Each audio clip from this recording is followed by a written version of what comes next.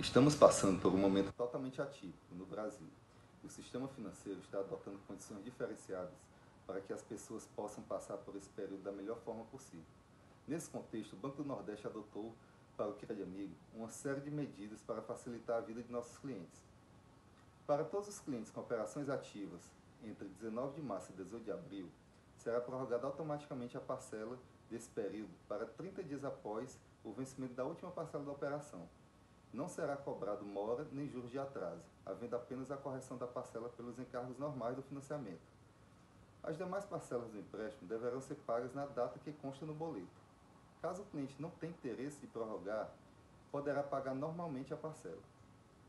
Para as operações é, novas e renovações de operação de crédito, durante o período de 19 de março a 18 de abril, o Banco Nordeste concederá um prazo de 60 dias para o pagamento da primeira parcela.